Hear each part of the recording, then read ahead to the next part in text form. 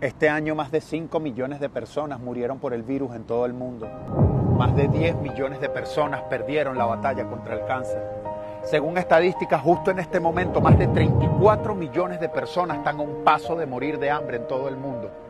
Mientras tú ves este video, seguramente una madre en Sudán tiene que ver a su hijo morir de hambre sin siquiera tener cómo darle algo de comer sin siquiera tener posibilidades de darle agua. Y mientras ves este video, una madre en Venezuela tiene que ver cómo su hijo se muere porque no había cómo operarlo en un hospital, verlo morir sin poder hacer nada.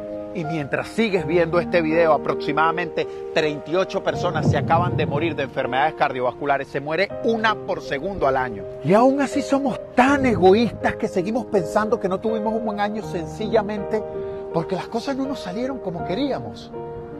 Respiras tienes salud.